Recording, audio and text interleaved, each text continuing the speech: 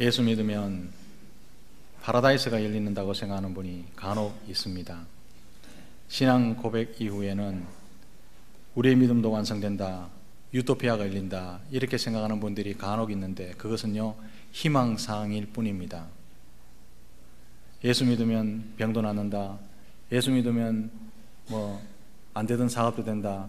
예수 믿으면 만병통치다. 여러분, 결국은 그래 되겠지만 우리의 삶은요, 거기서부터 시작하는 것이 아닙니다. 신앙 고백 이후에 예수 믿고 구원받은 이후에는요, 우리가 원하든지 원하지 않든지 간에 치열한 영적 전쟁의 한가운데 서게 된다는 사실을 기억하시기를 바랍니다. 이게 우리의 현주소입니다.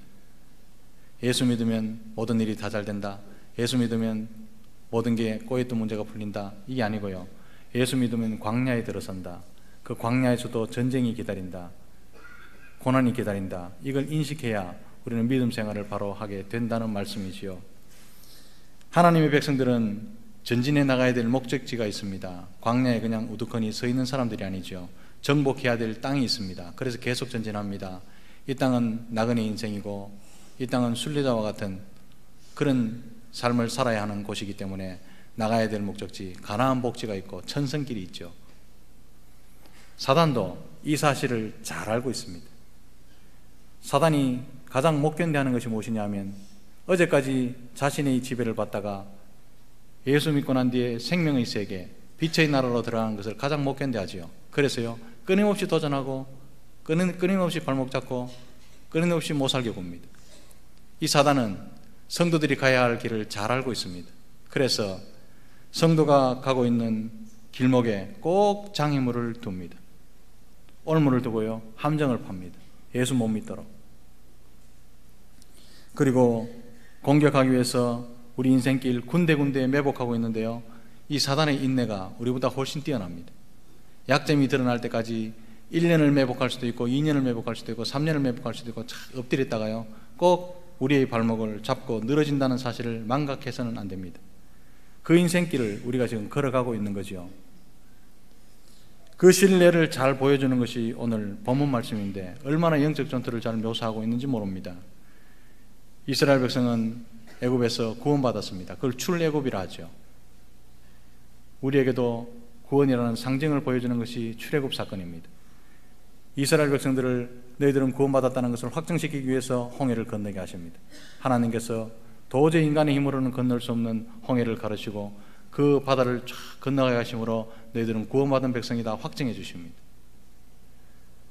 그리고 광야에 나왔습니다. 그들을 기다리고 있는 것은 광야였지요. 그런데 하나님 은혜 가운데 하나님의 인도 가운데 나온 광야에서 적을 만납니다. 첫 번째로 만난 대적이 오늘 본문의 아말렉 족속이지요. 아말렉 족속은요. 야곱의 상둥이 형이었던 에서의 손자입니다. 아말렉은 같은 집안이죠.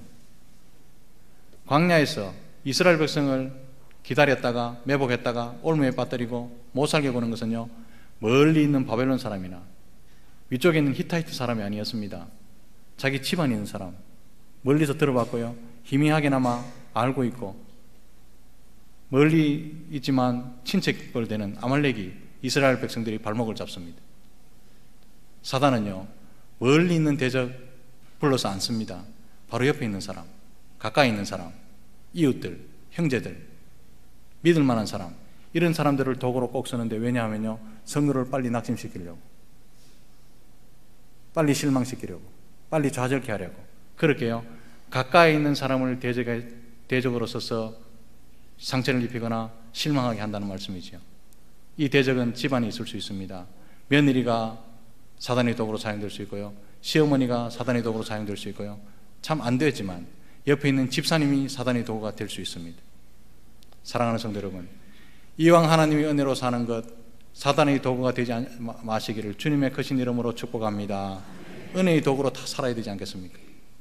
순간순간 은혜를 잊어버리면 사단이 나를 이용해서 형제를 실족시키고 실망시키고 낙심시킬 수가 있다는 겁니다. 아말렉 족속이 이스라엘 백성들을 어떻게 공격했는지 신명기 25장 18절에 상세히 기록하고 있습니다. 거기 보면 이렇게 기록합니다. 곧 그들이 너를 길에서 만나 내가 피곤할 때에 내 뒤에 떨어진 약한 자들을 쳤고 하나님을 두려워하지 아니하였느니라. 사단은요 절대로 용감하지 않습니다. 비겁합니다. 아주 비굴하지요. 이스라엘 백성들이 피곤할 때, 강할 때가 아니라 피곤할 때, 그것도 뒤떨어진 약한 자들을 치고 돌았답니다. 이게 사단의 전략이지요. 정면에서 오는 적들은 성도들이 대부분 다 이깁니다. 순교라도 합니다. 그러나 전혀 생각지도 못했고 전혀 예상치도 못했던 그것을 치고 들어올 때는요 성도들도 좌절하고 실망합니다. 이 사실을요 사단은 잘 알았다는 거죠. 아말렉 족속이 자기 형제였던 자기 친척이었던 이스라엘 백성이 피곤할 때 그것도 뒤에 떨어져 있는 피곤한 가운데서도 가장 약한 자들을 치고 돌았답니다. 그 이유가 뭘까요? 신명기 25장 18절 하반절에 말하죠. 하나님을 두려워하지 않았기 때문이다. 하나님을 두려워하지 않으면 무슨 짓이든 합니다. 당시에 팔레스틴 모든 족속들은 하나님을 두려워했습니다. 왜냐하면 홍해를 가르시고 당시에 세계 최강인 애굽의 군대를 바다 밑에 한순간에 몰살시키셨기 때문이지요. 애굽이 어떤 나라입니까? 세계 최강의 나라였습니다. 세계를 정복했던 세계의 군대를 가지고 있었던 나라가 애굽의 군대지요. 요즘도 군사력이 최고, 세계 최고라고 말하는 미국, 러시아, 중국이 조그마한 나라 라오스에게 졌더라 이러면요 세계 한뉴스 세계 한뉴스감 빅뉴스감이죠. 미국이 졌다더라. 그 농사 짓는 나라 라오스에게 이런 소문이요 미국은 내기 싫어도 다 소문이 나게 되어 있습니다. 미국은 지금도요 베트남에서 졌잖아요. 그걸 숨기고 싶어 하는 거죠. 왜 그렇습니까? 미국은 최강인 줄 알았는데 지고 나왔잖아요. 세계 최강인 줄 알았던 애굽 나라가 군사훈련도 안 했던 이스라엘에게 졌단다. 왜냐하면 그들은 하나님 여호와를 의지하고 있기 때문에 이겼단다. 모두가 두려워했죠. 하나님이 함께하는 이스라엘 나라 감히 어떻게 해보려고 공격해 보려고 엄두를 내지 못했을 때였습니다. 그런데요, 꼭 예외는 있습니다. 하나님을 두려워하지 않고 자기 마음대로 했던 족속이 있었는데 그 족속이 멀리 있는 사람이 아니라 한 집안이었던 아말렉 족속이었다. 그렇게 말하고 있죠. 그들은 이스라엘 백성이 광야에서 새로운 생활에 적응하느라 힘든, 힘든 때, 이때까지 노예 생활하다가 자유가 어떤 것인지 배워야 할 그때, 긴 여정에 걷고 또 걷다가 지치고 있을 그때를 노렸답니다. 장정만 60만, 60만이랍니다. 개수되지 않았던 1세부터 20세까지 그리고 50세 이상 되는 사람 다 합치면요 200만에서 250만 원 됩니다. 200만에서 250만 정도 되는 이 무리 중에 뒤처진 무리가 있었답니다. 천명 남짓 때는 그런 성도들이 모여도요 뒤처진 사람이 있잖아요. 얼마든지 있죠. 불평하는 사람, 부정하는 사람, 부정적인 사람, 이러면 됐다 했다가 안 됐다 했는 사람 그런 사람은요 천 명이 넘는 교인 중에서도 얼마든지 있습니다. 그런데요 250만이나 넘는 대군들 중에 이런 사람이 없겠습니까? 충분히 있지요. 그런데 문제는요 그 사람이 손해라.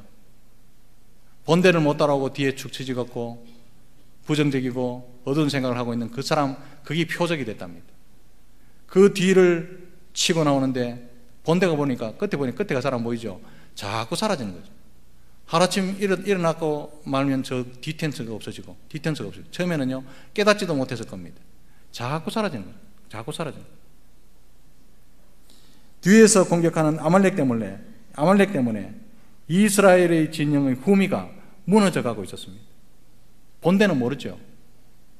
그런데 자꾸 공격하는 사단도요 시간이 지나면 담대해지죠 처음에는 뒤에서 처진 자들만 공격하더니 이제는 점차 앞으로 나와서 정면에서 도전하기 시작했더라고 하는 것이 오늘 본문의 시작입니다. 아말렉 족속은 이스라엘 백성들이 예상치도 못했던 적이었습니다.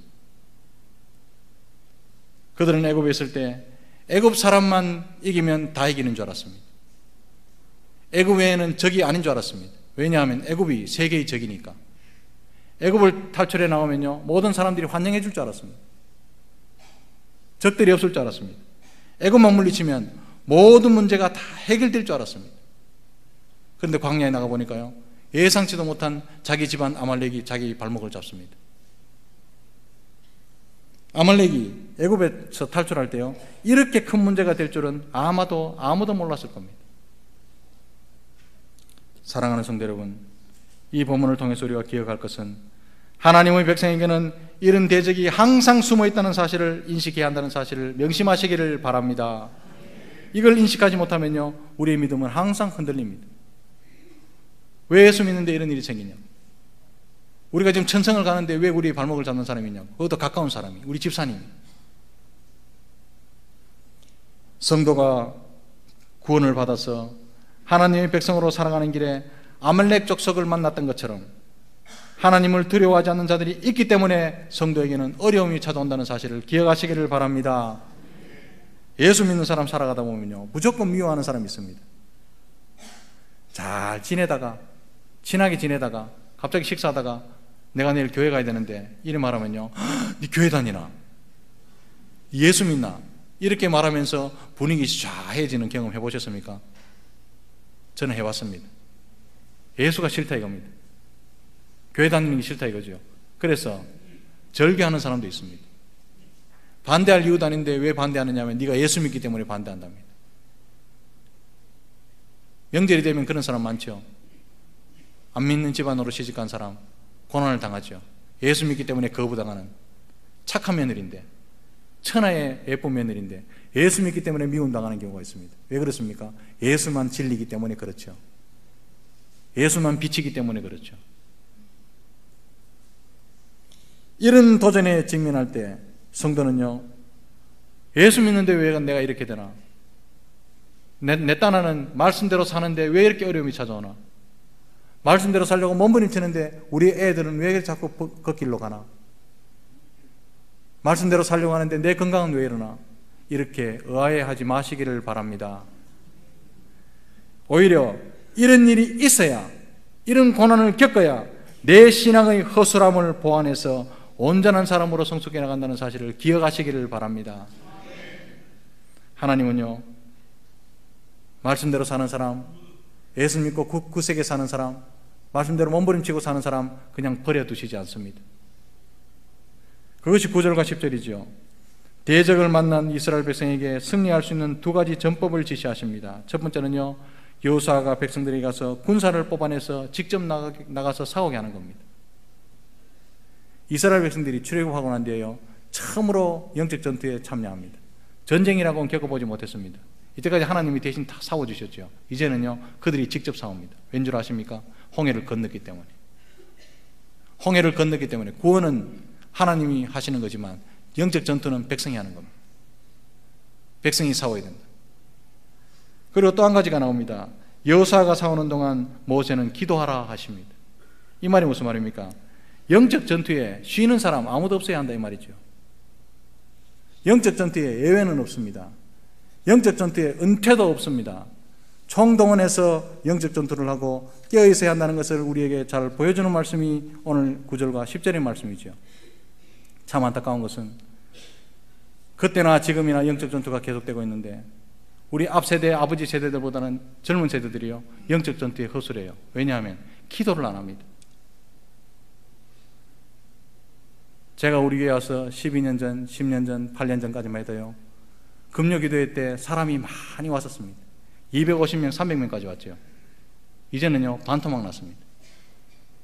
내가 신통창기 인도에서 그러나 깊이 반성하기도 하고 돌아보게 됐는데 이유가 있더라고요. 기도하는 어머니 세대들이 소천하셨어요. 기도하는 어머니 세대들이 지금 은퇴하시고 밤에는 무릎이 욱신거려서 걷지를 못하시는. 그분들이 100, 100번 정도 소천하시거나 은퇴하시거나 무릎이 아프니까요. 안 오시니까 100명이 딱 비는 거죠. 사랑하는 성도 여러분, 젊은 세대 여러분, 신앙을 이어지게 하시기를 주님의 이름으로 축복합니다. 젊은 세대도 영적 전투를 치러야 되고 아버지 세대도 영적 전투를 치르셨습니다.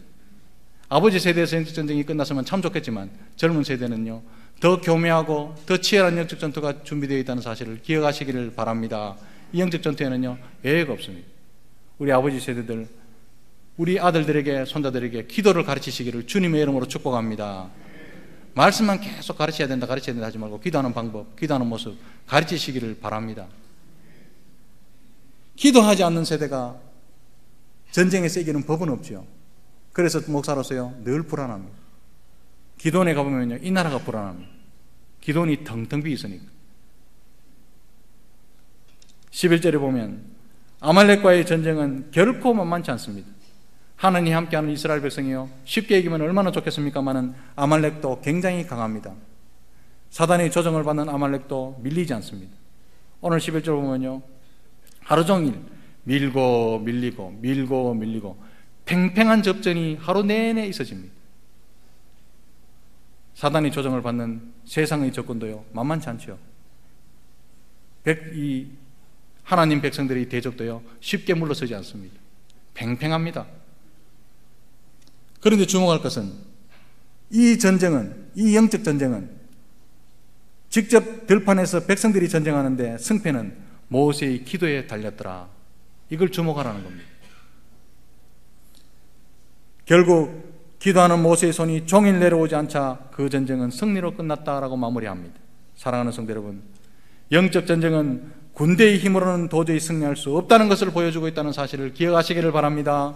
영적 전쟁은요, 많이 배웠다고 이길 수 있는 것이 아닙니다. 많이 가졌다고 이길 수 있는 것이 아닙니다. 똑똑하다고 이성이 뛰어나다고 이길 수 있는 것이 아니라 기도하고 깨어 있어야 이길 수 있다는 사실을 기억하시기를 바랍니다. 정말 하나님을 믿는다면, 내가 하나님을 100% 신뢰하고 의지한다면 그 사람은 기도하는 사람입니다. 내 믿음 좋은데 하나님이 함께 하실 거라고. 우리 집안 잘 될 거라고. 그러면서 기도하는 사람은요, 믿음이 아니라 도박입니다.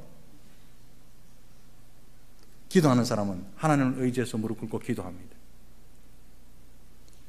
전쟁이 끝난 후에 모세는 단을 쌓고 그 단을 여호와 니시라 불렀답니다. 이 말은 여호와께서 대대로 아말렉과 싸우신다는 것을 기억하기 위한 단인데 이 말을 우리로 우리로 바꾸면요 여호와께서는 하나님 백성을 대적하여 일어나는 원수와 대대로 싸우시리라 약속하신 증거입니다. 여호와 니시 이 말은요 여호와는 나의 깃발이라는 뜻입니다. 이 말은 이 전쟁은 이 영적 전쟁은 하나님의 이름으로 싸우는 거룩한 전쟁이다라는 선포입니다. 하나님의 군대인 성도는 이 전쟁에서 단지 말씀에 순종하기만 하면 승리할 수 있다는 사실을 믿으시기 바랍니다. 우리가 총을 들고 나가거나 칼을 들고 나갈 전쟁이 아니라 말씀을 들고 순종하면 앞에서 우리 군대 대장 되신 하나님께서 그리스도께서 다 싸워 이기시는 전쟁 그 전쟁에 참전한다는 사실을 기억하시기를 바랍니다. 불순종하면요 그 뺑칼로 백성을 치십니다. 순종해야 이길 수 있는 거죠. 그러면 오늘 신약 시대를 사는 우리가 대적해야 될 대적은 무엇이겠습니까? 그 첫 번째 대적이 나옵니다. 에베소서 6장 12절에 이런 말씀이 있습니다. 우리의 실험은 혈과 육을 상대하는 것이 아니요 통치자들과 권세들과 이 어두운 세상 주관자들과 하늘에 있는 악의 영들을 상대함이라. 이 말이 무슨 말입니까? 첫 번째 대적은요, 공중 권세 잡은 사단이랍니다. 적을 잘 알고 총을 쏘시기를 바랍니다. 우리의 원수는 사단이지, 옆에 앉은 집사님, 앞에 서 있는 목사 아닙니다. 총구 잘못 땡겨갖고 사람 죽이지 말고. 사단이 우리의 대적이라는 사실을 기억하시기를 바랍니다. 또 한 가지 대적이 있습니다. 이번에는 갈라디아에서 나오죠. 갈라디아서 5장 17절 이하의 말씀을 보면요. 변화되지 못한 나의 애사람, 육체의 욕심이 바로 우리가 대적해야 될 원수랍니다. 공중 권세 잡은 사단이 가장 교묘하게 잘 이용하는 것이 육신입니다. 육신의 연약한 부분을 물고 늘어지면서 염려를 심어줍니다. 네 뭐 먹고 살래? 연약한 육신을 물고 늘어지면서 근심하게 만듭니다. 네가 60세 내오면 노년 노후는 어떻게 할래? 옆집 사람 봐라. 옆집 사람은 적어도 그랜저 타고 다니는데 너는 지금도 구름만 모나. 자꾸 육신을 이용하는 거죠. 그래서 우리 가운데요. 육신의 이야기는 넘쳐납니다. 무슨 아파트에 사노? 몇 평에 사노? 무슨 차 몰고 다니노? 노후 복지는 어떻게 되나? 한 달에 수업은 어떻게 되나? 자녀는 어디 다니노? 무슨 대학 나왔느냐? 이런 이야기가 영생의 나라 교회에서도 넘쳐나는 것이 부끄럽게 생각해야 됩니다.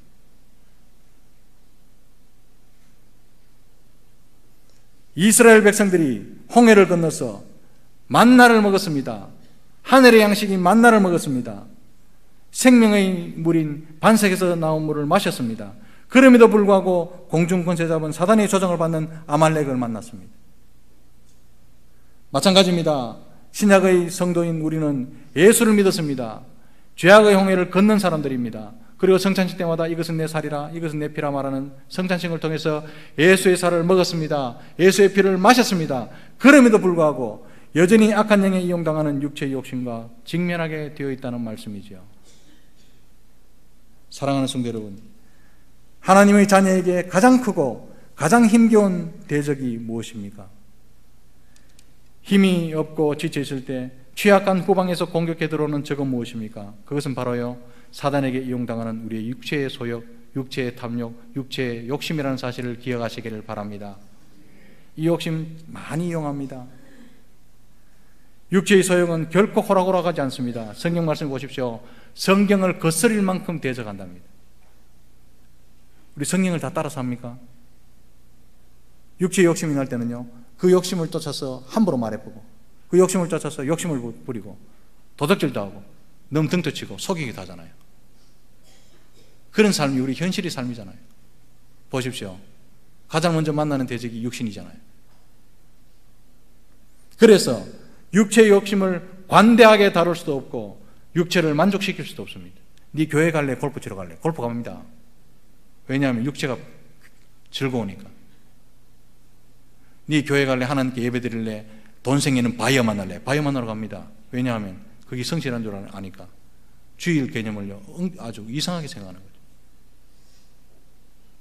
노후에 어떻게 먹고 살래? 수입은 어떻게 되노? 얼마나 저축했나? 여러분 한평생 살아봐야 많이 살아봐야 100년입니다 이 땅에 그러나 주님 나라에서는요 영원히 산다는 것을 기억하시기를 바랍니다 그러면 100마디 중에 90마디는요 영생의 나라에 대한 이야기여야 합니다 말씀대로 내가 살았는가? 주님 면전했으면 주님께서 나를 뭐라고 말씀하실까? 하나님께서 어떤 상급을 준비하고 계실까? 어떤 칭찬을 하실까? 내 가슴 속에 같은 성도들, 같은 형제와 자매를 사랑하기 위해서 받았던 상처의 흔적은 내가 가지고 있는가? 이런 이야기가 오고 가야 되는데, 뭐 먹고 살래? 몇 평에 사노? 상사는 되나? 어제 힘들제? 이런 이야기는 세상에 많이 듣잖아요. 노후에 3년, 4년 더 살기 위해서 은행에 돈 수억을 갖다 바쳐도 아깝지 않으면서 영생의 나라를 위해서는요, 뭐 해놨습니까? 80세가 지나면 동창생이 3분의 2가 없어지고 90세가 되면요, 동창생이 거의 없고 100세가 되면요, 외롭게 삽니다. 100세가 돼서 저승, 저승에서 부르러 오거든 이게 쌓고 저게 쌓고 그거 꿈입니다.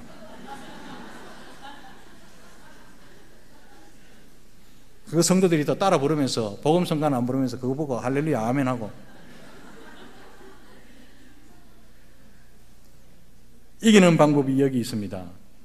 대적과 대대로 싸우시는 하나님의 군대로 거룩한 전쟁에 순종함으로 참전할 때 이기게 될 줄로 믿습니다. 바울은 영적 전쟁에 참전한 성도에게 이렇게 말씀하십니다. 갈라디아서 5장 24절 말씀에 그리스도 예수의 사람들은 육체와 함께 그 정욕과 탐심을 십자가에 못 박았느니라. 이 말이 무슨 말입니까? 아직도 옛 사람이 덜 죽은 채로 깐죽대지 말고 제대로 좀 죽어라. 이 말이죠. 또 말씀하십니다. 갈라디아서 5장 16절 말씀에 성령을 따라 행하라. 그리하면 육체 욕심을 이루지 아니하리라. 이 말씀이 무슨 말입니까? 괜한데 용쓰지 말고 유한한 세상에 용쓰지 말고 좀 잘 살라고 몸을 뒤틀면서 몸부림치지 말고 엎드려 기도하고 성령의 충만함을 받아라 이 말씀이잖아요. 용쓰지 말고 성령을 따라 행하면 자연스럽게 힘들이지 않고 이기게 될 줄로 믿습니다. 성령의 충만함으로 영적 전쟁에서 승리하시는 저와 여러분들이 다 되시기를 주님의 크신 이름으로 축복합니다.